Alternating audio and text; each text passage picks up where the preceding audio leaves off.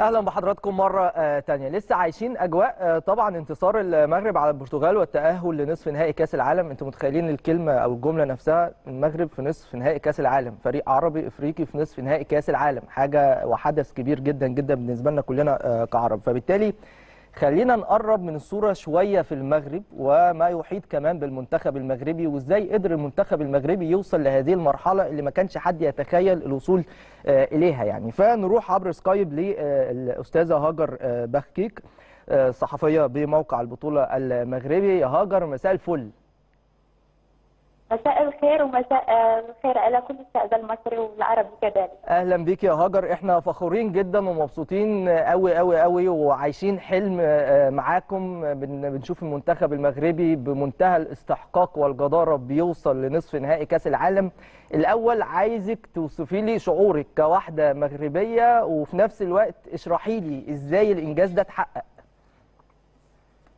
اولا ربنا يخليك. شكرا هذا تأهل. ليس للمغرب فقط لكنه تأهل لكل العرب آه، والقارة الأفريقية أكيد. كذلك.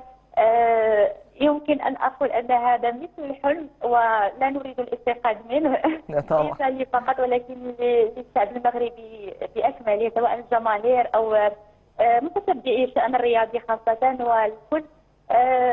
آه، صراحة لم نكن نتوقع آه، الوصول مم. نصف النهائي مم. آه، كان حلم والحمد لله تحقق والآن نطمع في الوصول للنهائي إن شاء الله إن شاء الله. نسرب الكرة المغربية آه، ون- ونواصل كتابة التاريخ آه، لنا نحن المغرب ولكل العرب والأفارقة كذلك إن شاء الله. إن شاء الله. هو إنجاز ما يحسبش بس ال- المنتخب المغربي كجهاز فني ولاعبين لكن هو أكيد يحسب للمنظومة يعني المنوطة بالإشراف على كرة القدم في المغرب بشكل كامل. يعني المنظومة كلها أكيد خططت للوصول لهذه المرحلة. قولي لي الأمور بتبقى ماشية إزاي؟ إزاي خططتوا؟ وزي ما انت بتقولي مثلا ما كانش حد يتوقع هناك في المغرب إن الم- المنتخب يوصل ل- لنصف النهائي. أقصى طموح كان في الشارع الرياضي المغربي لحد فين في كأس العالم؟ آه، صراحة كان آه، ذلك من الجزء الأخير ديال السؤال اللي هو الطموح آه، ديال ال- الجماهير المغربية اللي كانت كان طموحنا هو إعادة إنجاز 86 بالمكسيك اللي هو الوصول للدور الثاني من المونديال مم. الحمد لله آه، يمكن أن أقول أنه من بعد التعادل أمام كرواتيا في دور المجموعات بدأ الطموح يكبر شيئا فشيئا تمام. لأننا تعادلنا أمام آه، وصيف بطل العالم وهذا ليس بشيء سهل راه آه، رأينا كرواتيا ماذا فعلت أمام المنتخبات الأخرى آه، بعدها جاءت بل- بل- بلجيكا بعدها كندا ثم إسبانيا آه، الحلم بدأ يتحقق وكل شيء ممكن مع المنتخب المغربي. آه، تحدثت عن المنظومة. أكيد هناك الجامعة الملكية المغربية لكرة القدم برئاسة آه، آه، السيد فوزي القجع. أكيد هناك عمل كبير. آه، هو من يخطط لكل كبيرة وصغيرة لإنجاح الكرة المغربية. ليس فقط كرة القدم كرة القدم للرجال. نرى كرة القدم للسيدات التي أنجزت هي كذلك كتبت التاريخ. نرى كرة القدم داخل القاعة نرى جميع الفئات وجميع الرياضات ليس فقط كرة القدم. هناك أكيد آه، هناك شغل كبير. هو من آه، عين بالطبع آه، الناخب الوطني وليد الركراكي خلفا البوسني خليل وزيتش هو من كل شيء مخطط. له أكيد.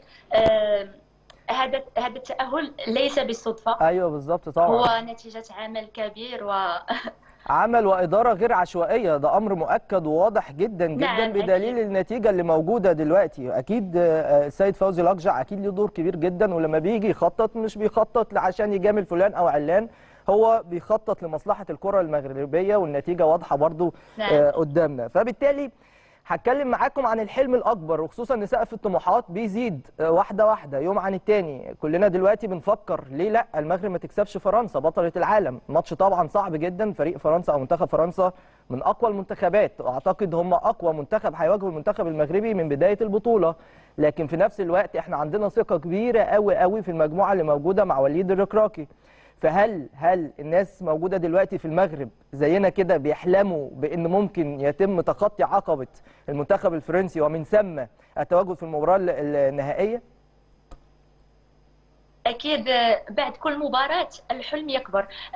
إحنا هنا في المغرب كنا نقول قبل كل مباراة قبل مباراة بلجيكا قبل مباراة إسبانيا نقول فقط هذه المرة نريد أن نتأهل فقط هذه المرة نريد أن نفوز فقط. لكن بعد ما ما تغلبنا بالأمس على البرتغال وبلغنا المربع الذهبي نقول لما لا نفوز على بطل فرنسا؟ وإذا كان بطل فرنسا نحن تغلبنا على إسبانيا رغم أننا كنا نقول منتخب إسبانيا إنه قوي وهذا وهذا が ولكن نحن كذلك لدينا لاعبين جيدين لدينا فرنسا لديها مبابي نحن كذلك لدينا أشرف حكيمي يلعب معه في في باريس سان جيرمان لدينا لاعبين ينشطون في دوريات أوروبية قوية وبصموا على مستويات كبيرة. ولما لا نحن كذلك بإمكاننا أن نتغلب على بطل العالم اللي هو فرنسا ونبلغ لما لا نهائي إن شاء الله كأول منتخب عربي وافريقي يحقق هذا الإنجاز. أكيد كما نقول إذا إذا اشتغلت بجد ستجد النتيجة بكل تأكيد. والنخبة الوطنية أكيد ستستعد لهذه المباراة بكل ما لديها.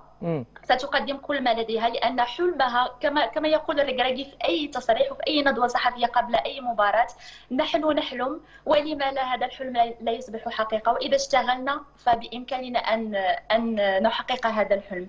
وهذا ما ما كان في جميع المباريات السابقة ولما لا يكون إن شاء الله في المربع الذهبي كذلك. إن شاء الله بإذن الله. هاجر طب النقلة اللي حصلت يعني برحيل وحيد خليلوزيتش تقريبا قبل بطولة كأس العالم بشهرين على ما أتذكر يعني. النقلة اللي تحصل زي كده أكيد ليها حسابات محددة.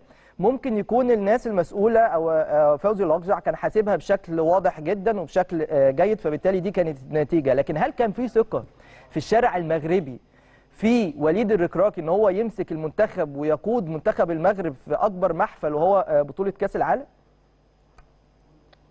صراحة كانت هناك ثقة ولكن ليست ثقة كبيرة كما كما التي هي اليوم التي يضعونها اليوم في الناخب الوطني. كانت هناك ثقة لأنه قبل قبل أيام كان قد حقق اللقب الأفريقي مع الوداد. والجماهير كلها شافت ما قدمه وليد الركراكي وقاد الوداد لتحقيق اللقب القاري. فأكيد لما لا, لا نضع نضع فيه الثقة. ولكن كان هناك تخوف لأنه قبل ثلاث أشهر أو شهرين على انطلاق كأس العالم. كان هناك تخوف لأنه استدعى لاعبين بعض اللاعبين الجدد كنا متخوفين من المجموعة كان بقالهم فترة بعيد عن المنتخب. كان بقالهم نعم. فترة كان بقالهم فترة بعيد عن المنتخب يعني. نعم مثل زياش أو بالزبط. أو حمد الله مم. وهناك كذلك شديرة الذي أو الخنوس الذي أول مرة يستدعى للمنتخب المغربي فكان مم. هناك تخوف من المجموعة ألا يكون هناك انسجام أو يؤثر ذلك على على مردودهم على أرضية الملعب ولكن الحمد لله كان العكس آه وليد جلب الروح القتالية والروح الوطنية والانسجام بين المجموعة وهذا آه شفنا التأثير ديالو على أرضية الملعب. آه ربما كذلك هذيك الروح الوطنية اللي عنده لأنه مدرب مغربي ويقود منتخب بلاده في في المونديال.